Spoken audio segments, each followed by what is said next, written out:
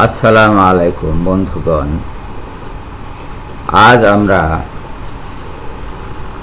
আল কোরআন থেকে প্রমাণ করব যে আসসালামু আলাইকুম বলে আমরা যে সম্বোধন করি কারোর সাথে দেখা সাক্ষাৎ হলে, সেটা ভুল নয়। যারা সালামুন আলাইকুম বলে আমাদেরকে শুধরে দিতে চাচ্ছেন, তারা বিভ্রান্ত অল্পবিদ্যা ভয়ঙ্করী। হজরত মোহাম্মদ সাল্লাহ সাল্লাম ভুল করেননি। তার সাহাবিগণ ভুল করেননি। তাবেগণ ভুল করেননি, তাবে তাবিগণ ভুল করেননি। আলেমরা ভুল করছে না, আমরাও ভুল করছি না। আসসালামু আলাইকুম। এটাই সম্বোধনের প্রকৃত নিয়ম। এখানে আমি সুরা আর নিসা আপনাদেরকে প্রদর্শন করছি।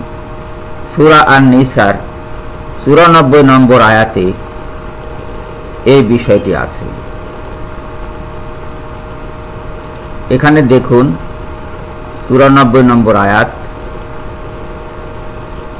হে মুমিনগণ, যখন তোমরা আল্লাহর পথে বহির্গত হও, তখন প্রত্যেক কাজ তথ্য নিয়ে করো এবং কেউ তোমাদেরকে সালাম করলে তাকে বলো না যে তুমি মুমিন নও, সালাম করলে।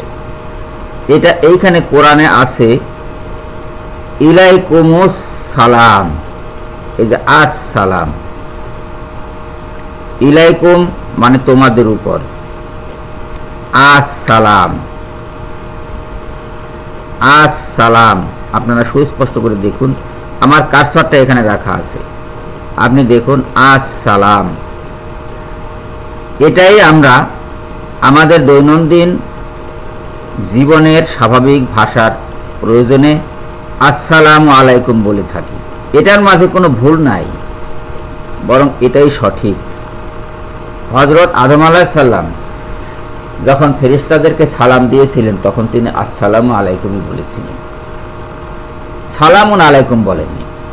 এটা সাধারণ মানুষের ভাষা নয়। মানুষ যখন পারস্পরিক কথাবার্তা বলবে বা পারস্পরিক ভাব বিনিময় করবে, তখন নিজেদের মতো করেই তারা বলবে।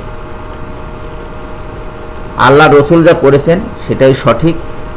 আমাদেরকে আসসালামু আলাইকুম বলেই সম্বোধন করতে হবে। অতিবুদ্ধির লোকজন যাই করুক না কেন, আমরা আসসালামু আলাইকুমই বলব।